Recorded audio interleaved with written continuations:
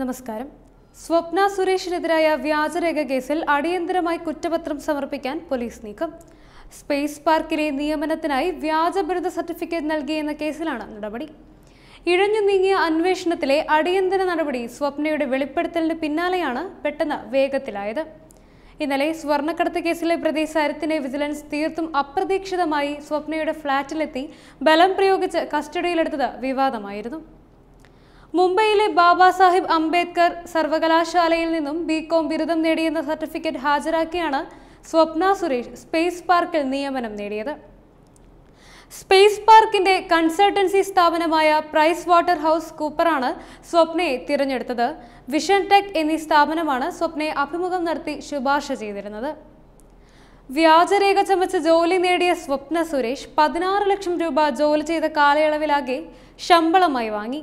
സ്വർണക്കടത്തിന് പിന്നാലെയാണ് സ്വപ്നയുടെ അനധികൃത നിയമനവും വ്യാജരേഖയുമെല്ലാം പുറത്തു വരുന്നത് കേസെടുത്തുവെങ്കിലും രണ്ടു വർഷമായി അന്വേഷണമെങ്ങും എത്തിയില്ല. സ്വപ്നയുടെ പുതിയ വെളിപ്പെടുത്തലോടെയാണ് കേസിന് വീണ്ടും ജീവൻ വയ്ക്കുന്നത്. പഞ്ചാബ് സ്വദേശിയായ സച്ചിൻ ദാസാണ് സ്വപ്നയ്ക്ക് വ്യാജ സർട്ടിഫിക്കറ്റ് നൽകിയത് എന്നാണ് കണ്ടെത്തിയിട്ടുള്ളത്. പഞ്ചാബിലേക്ക് അന്വേഷണ സംഘം ഉടൻ തന്നെ പോകും. അതിനു പിന്നാലെ കുറ്റപത്രം നൽകാനാണ് നീക്കം. അതേസമയം തന്റെ നിയമനത്തിന് പിന്നിൽ ശിവശങ്കർ ആയിരുന്നുവെന്നും വിദ്യാഭ്യാസ യോഗ്യത ഉൾപ്പെടെയുള്ള കാര്യങ്ങൾ അറിയാമായിരുന്നുവെന്നും സ്വപ്ന നേരത്തെ വെളിപ്പെടുത്തിയിരുന്നു. എന്നാൽ അന്വേഷണം ഇതുവരെ ശിവശങ്കറിലേക്ക് നീങ്ങിയിട്ടില്ല. സ്വപ്ന സുരേഷിനെയും പ്രൈസ് വാട്ടർ ഹൗസ് കൂപ്പറിനെയും വിഷൻ ടെക്കിനെയും ഇവിടുത്തെ ഉദ്യോഗസ്ഥരെയും മാത്രമാണ് ഇപ്പോൾ പ്രതി ചേർത്തിട്ടുള്ളത് സ്വപ്നയുടെ നിയമനത്തിൽ ഇടപെട്ടതിന്റെ പേരിലായിരുന്നു ശിവശങ്കറിനെ സസ്പെൻഡ് ചെയ്തത്.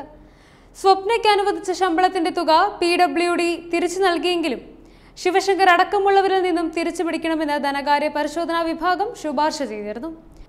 കെ എസ് ഐ ടിയിൽ കത്ത് നൽകിയെങ്കിലും പി ഡബ്ല്യു സി അനുകൂലമായി പ്രതികരിച്ചില്ല. ഖജനാവിൽ നിന്നും പോയ തുക തിരിച്ചു പിടിക്കാനുള്ള നടപടി എങ്ങും എത്തിയിട്ടില്ല.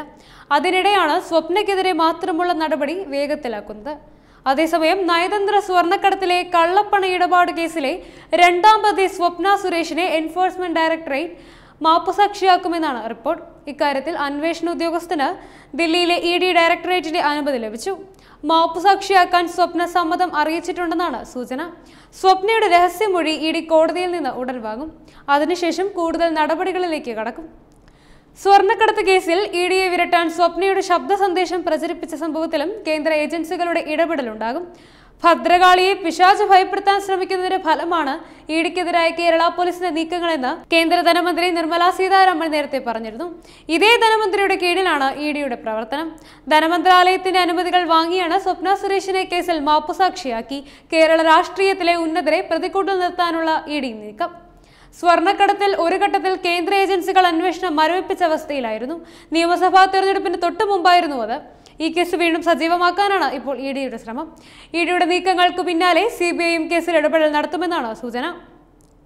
നയതന്ത്ര പരിരക്ഷയുണ്ടെന്ന വ്യാജേന രാജ്യം വിട്ട യു എയിൽ കഴിയുന്ന വിദേശ പൗരന്മാരുടെ മൊഴി രേഖപ്പെടുത്തേണ്ടത് അനിവാര്യതയാണ്. Web desk Tatwamayi news.